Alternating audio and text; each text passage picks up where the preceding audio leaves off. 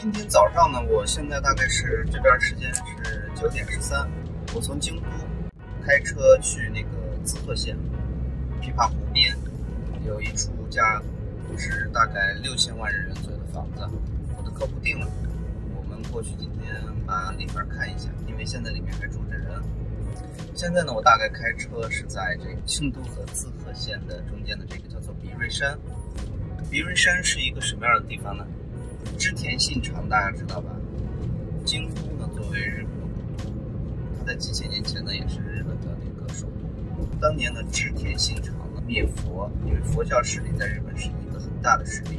这个比瑞山呢，它坐落于那个京都市的北边，是一座佛教名山。